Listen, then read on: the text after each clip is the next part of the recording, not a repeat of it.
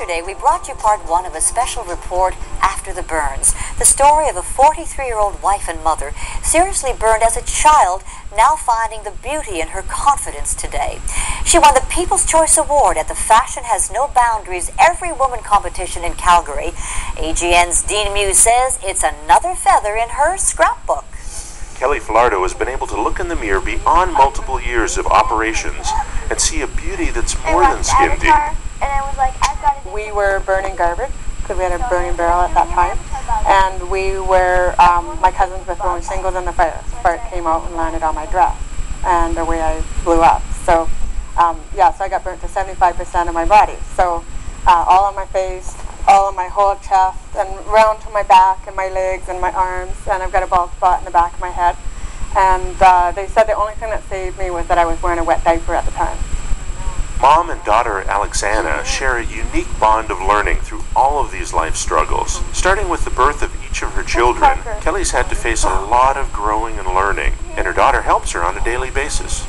Before I even knew if we could have kids, um, I actually often wondered if my daughter would look like me.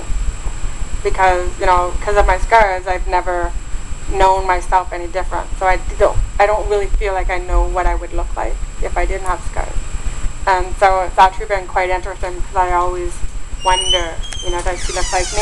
Is this, is this, is she who I would look like if I didn't have scars? Well, I, I guess what I want her to do is, is to accept everybody, no matter what they look like, and not judge the book by the cover.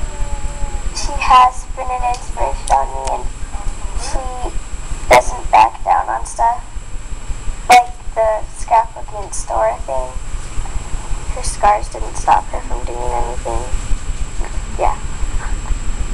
Dreams for a blessed and successful life, a happy, healthy family, and a new growing scrapbooking business keep each day fresh beyond all the challenges. Um, I'm one of these people that's, you know, again, it's all about the dream and it's all about the passion. And when I have the passion for something, I don't let anything stop me. And so I had talked to my husband about, what do you think about doing a mobile scrapbook store? And he said, that's brilliant, do it. When are you starting? And I was like, are you kidding? How am I going to do that? I don't know how I'm going to do that. But uh, we converted like a 1,200 square foot store, you know, store into a cube van.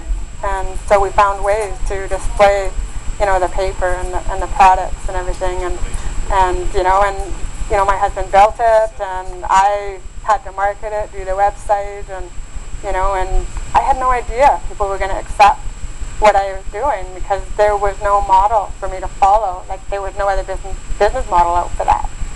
So you know, we sunk fifty grand into it and thought, okay, let's let's make sure this works. So, and it's just been a blast. We've just had a great time with it. So. It